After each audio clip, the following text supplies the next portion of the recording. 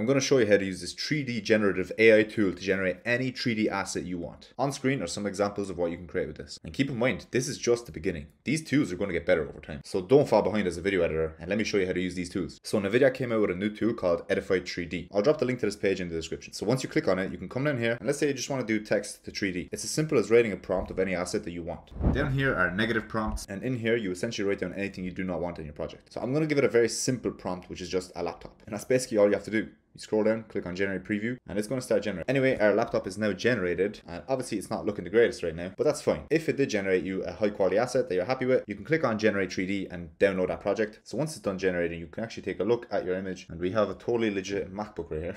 but you can preview your image, maybe tell it to change color if you don't like the color, or change any details about it. Keep in mind, this is totally free at the moment. So once you're happy with it, you can click on Demo GLB, save it, and it's as easy as dragging and dropping it into your After Effects project. And when you do so, you're going to get this window. Make sure you click on basic and click on make comp size, then click OK. And as you can see, we have our laptop. Now, obviously all we have to do is just go into here, change the rotation and position it where we want it to be positioned. But as you can see, it is a 3D object. It's actually in this 3D environment that I created in another video. If you're interested in that, it's on my channel or there should be a link on the screen right now. But basically we turned a 2D PNG image into a 3D environment with AI. I spent over $1.5 thousand on courses and everything I learned in those is included in the Emma Bootcamp. So it's really a no-brainer considering the price. And that's where I actually teach you how to make money with video editing, even as a complete beginner. I hope to see you inside, but if not, all I ask is you leave a like if you enjoyed, subscribe if you want to see more, and drop a comment with any feedback you have. Thanks for watching, bye.